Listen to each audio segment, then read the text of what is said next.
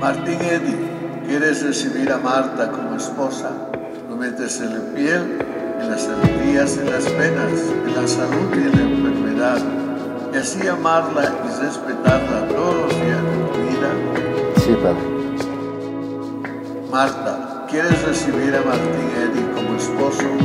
No metes en la piel, en las alegrías, en las penas, en la salud y en la enfermedad, y así amarlo y respetarlo todos los días vida. El Señor confirme con su bondad este consentimiento mutuo que ha manifestado ante la Iglesia, les otorgue su copiosa bendición. Lo que Dios ha unido, que no lo separe el hombre Jesucristo nuestro Señor. Amén. Amén.